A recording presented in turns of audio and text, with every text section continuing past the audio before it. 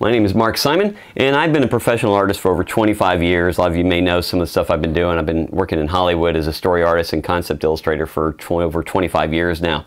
And I am a huge fan of drawing digitally, and I love the Cintiqs. I've got my big 22-inch Cintiq here, and then I've really gotten into using my companion. This is the Wacom Cintiq Companion.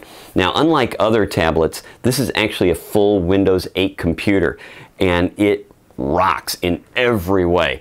But as great as this machine is, there's a few things that you can do when it comes out of the box to make it work better for you as an artist. So I'm going to share a couple of these really quickly with you.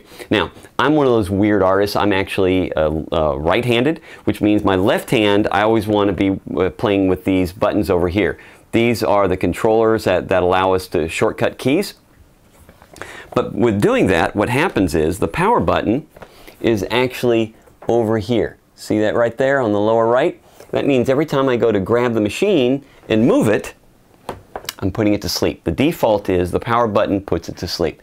Well, I don't want it going to sleep every time I just grab it. But luckily they thought of this and they made it real easy. So one of the things that, uh, that they've done is I'm going to turn on my Bluetooth keyboard here. And so one of the things that I like about Windows 8 is that I am able now when I'm looking for uh, some menu, I can actually just start typing it on the, the main page here on the start page and I just start typing in control panel. So when you select that, you go down and you select power options and so this is great. So to change the settings on the power button, there's actually right over here on the left, change what the power buttons do. Now, as I said, the default is sleep for both being on battery and when you're plugged in. So all you do is drop those down, select do nothing. And that keeps it really, so select save changes down here, and you're done. Now, don't worry, you can still turn off your machine. Here's how you do it. You just swipe in from the right hand side, select settings, and under power, you've got sleep, shut down, or restart. So it keeps it really, really easy.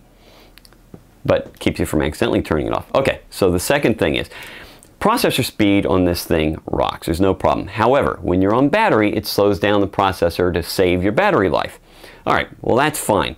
But when you're using things like Photoshop and you're doing a lot of quick sketching, sometimes there's going to be a big lag, especially if you've got a bigger file between your pinpoint and what you're seeing. And none of us as artists want that. We want this running full speed. So here's, here's what we do, and it's really easy to change. So I'm going to go back to uh, my start menu again and once again I'm going to type in control panel.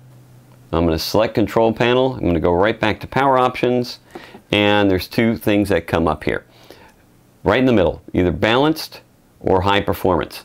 Well, balance balances processor speed with battery life. Well, you don't care about that because I don't care about that as an artist. And believe it or not, I'm still getting almost five hours of battery life running high speed. So I'm going to put high performance and I am done. So now when I'm sketching, it moves exactly, Uh, the cursor is exactly under where I'm drawing all the time. Doesn't matter what I'm working in. I'm even editing video on this thing. I've I've run three streams of high def video, and I don't drop a frame as I'm working on it. So it's great. Those two quick little changes, and you will be off and running and drawing quickly and loving this machine as much as I do. Thanks. We'll talk to you later. I gotta get back to drawing.